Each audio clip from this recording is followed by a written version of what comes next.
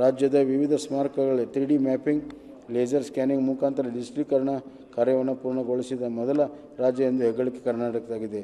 Adopt monument ಯೋಜನೆಯಡಿಯಲ್ಲಿ ಕೊಪ್ಪಳ ಜಿಲ್ಲೆ ಆನೆಗೊಂದು, ಗಗನಮಹಲ ಮತ್ತು ವಿಜಯಪುರದ ನಗರದ ತಾಜ್ ಬಾವಡಿ ಸ್ಮಾರಕ ಸಂರಕ್ಷಣೆಗೆ ಖಾಸಗಿ ಸಂಸ್ಥೆಗಳೊಂದಿಗೆ ಒಡಂಬಡಿಕೆ ಮಾಡಿಕೊಳ್ಳಲಾಗುತ್ತದೆ.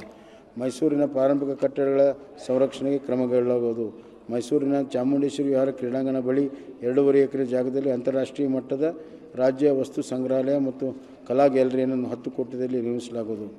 ಉಳ್ಳಾಳ್, ಉಳ್ಳಾಳದ ರಾಣಿ ಅಬ್ಬಕ್ಕ ಬೆಳವಡಿ ಮಲ್ಲಮ್ಮ ಸಾಲಿಗೆ ಸೇರುವ ಮತ್ತೊಬ್ಬ ಧೀರ ವನಿತೆಯ ಮೇಲೆ ಚೆನ್ನ ಬ- ಬೈರದೆ ಚೆನ್ನ ಭೈರಾದೇವಿ ಅವರ ಹೆಸರನ್ನು ಶಾಸ್ತ್ರಗೊಳಿಸಲು ಹೊನ್ನಾವರದಲ್ಲಿ ಚೆನ್ನಭೈರಾದೇವಿ ಸ್ಮಾರಕ ಉದ್ಯಾನ ನಿರ್ಮಿಸಲಾಗುವುದು.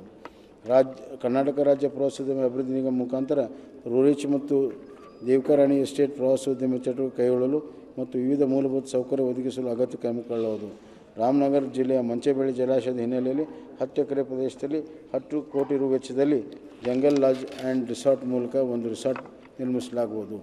ರಾಜ್ಯದಲ್ಲಿನ ಪಾರಂಪರಿಕ ತಾಣ ಪ್ರವಾಸ ಸರ್ಕ್ಯೂಟ್ ಪ್ರಾರಂಭಿಸುವ ಉದ್ದೇಶದಿಂದ ಕಲಬುರಗಿ ಜಿಲ್ಲೆಯಲ್ಲಿ ಸನ್ನತಿ ಚಂದ್ರಲಾಂಬ ದೇವಾಲಯ, ಗಣಗಾಪುರ್ ದತ್ತಾತ್ರೇಯ ದೇವಾಲಯ, ಉತ್ತರ ಕನ್ನಡ ಜಿಲ್ಲೆಯ ಬನವಾಸಿ ಮಧುಕೇಶ್ವರ ದೇವಾಲಯ ಸಂಕೀರ್ಣ ಸಮಗ್ರ ಅಭಿವೃದ್ಧಿಗೆ ಅನುದಾನವನ್ನು ಒದಗಿಸಲಾಗುವುದು. ಕಲಬುರಗಿ ಜಿಲ್ಲೆಯ ಸೇಡಂ ತಾಲೂಕಿನ ಮಳಕೇಡ್ ಕೋಟಿ ರಕ್ಷಣೆ ಕಾಮಗಾರಿ ಇಪ್ಪತ್ತು ಕೋಟಿ ವೆಚ್ಚದಲ್ಲಿ ಕೈಗೊಳ್ಳುವ ಆಡಳಿತ ಅನುಮೋದನೆ ನೀಡಲಾಗಿದ್ದು, ಪ್ರಸ್ತುತ ವರ್ಷದಲ್ಲಿ ಕಾಮಗಾರಿಯನ್ನು ಪೂರ್ವಗೊಳಿಸಲಾಗುವುದು ಕರ್ನಾಟಕ ಇತಿಹಾಸ ಪ್ರಮುಖ ಘಟನಾವಳಿಗಳಲ್ಲಿ ತಾಳಿಕೋಟೆ ಯುದ್ಧ ಸೇರಿದೆ. ಈ ಹಿನ್ನೆಲೆಯಲ್ಲಿ ರಕ್ಕಸ್ಕಿ ತಂಗಡಗಿ ಮತ್ತು ತಾಲೂಕೋಟಿ ಸುತ್ತಲಿನ ಐತಿಹಾಸಿಕ ಪ್ರಸಿದ್ಧ ತಾಣಗಳ ತಾಣಗಳನ್ನು ಯುವ ಜನರಿಗೆ ಪರಿಚಯಿಸುವ ಉದ್ದೇಶದಿಂದ ಅಭಿವೃದ್ಧಿಪಡಿಸಲಾಗುವುದು.